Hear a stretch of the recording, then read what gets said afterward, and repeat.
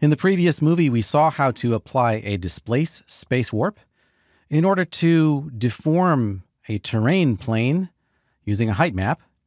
And additionally, that deformation or displacement is happening in world space.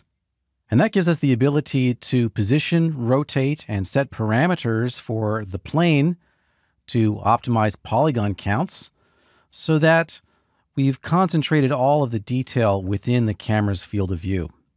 You can see in the top viewport of the scene here, I've got a camera and this terrain object is positioned and rotated so that it's filling the camera field of view. And if we go over to the perspective view with the move tool, we can move that terrain around and you can see that the displacement is stuck to the world.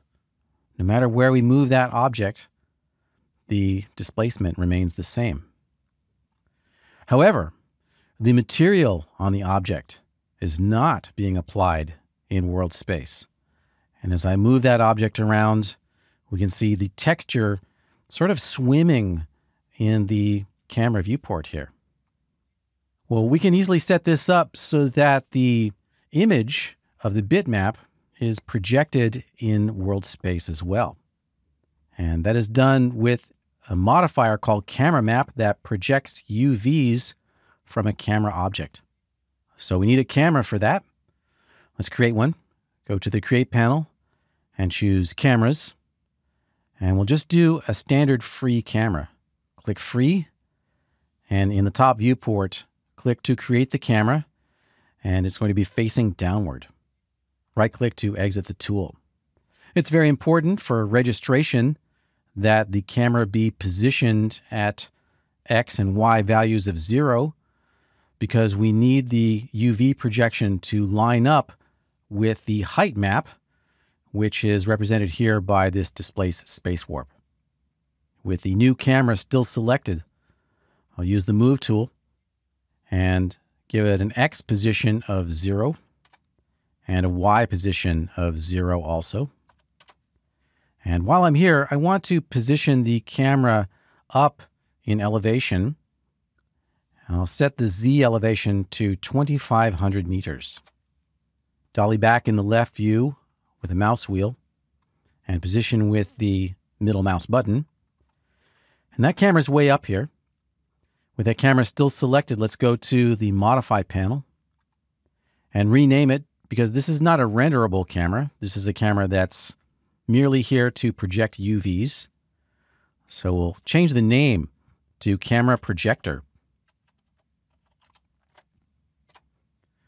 And in the parameters for that camera, you'll find the target distance. You might need to scroll around a little bit, but here it is, target distance. And I want the UVs that are projected, once again, to line up exactly with this height map. So I'll set the target distance to 2,500 meters to match the elevation of the camera. And now the cone or frustum of the camera ends exactly at an elevation of zero. And that way I'll know if the camera frustum is aligned properly with the height map or not. And I can also enable show cone here. Scroll back up here, enable show cone so that the frustum will be visible even if the camera is not selected. So I can deselect it. Also to register with the existing height map, I'll need to rotate the camera. So select that camera and use the rotate tool and give it a Z rotation of 90 degrees. Okay, so that's now set up. We can add the world space modifier for the camera map. Okay, so the camera is basically set up. And now let's apply a modifier to the terrain object to project UVs from that camera. Select the terrain object.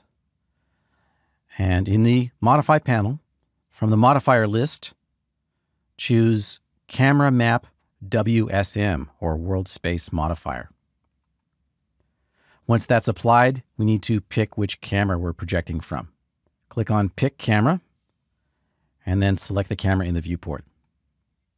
And now we can see that the mapping has changed.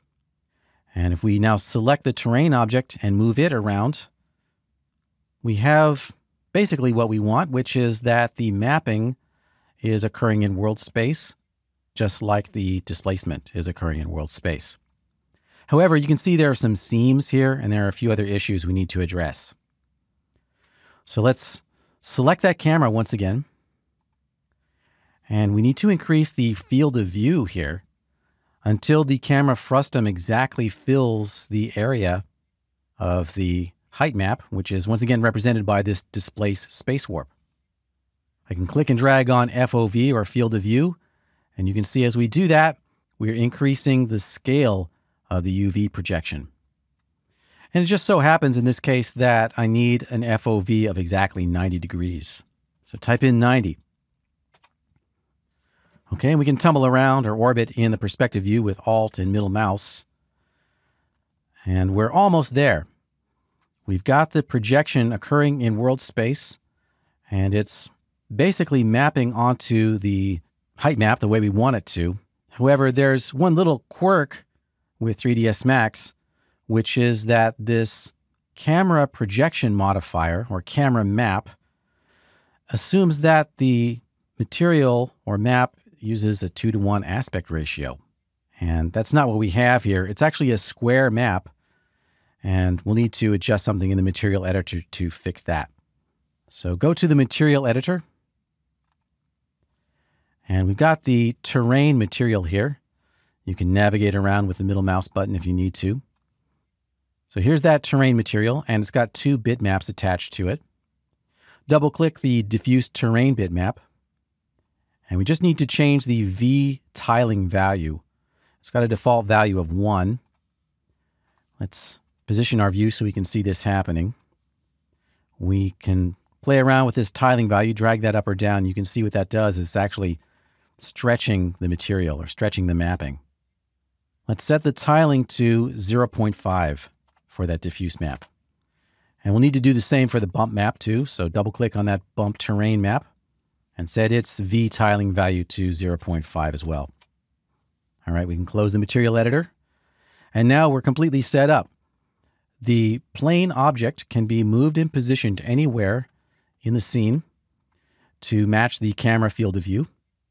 And the displacement is occurring in world space. And the mapping or UV coordinates are also being projected in world space from that camera that we created up here. And that's how to use a camera map to project UVs in world space.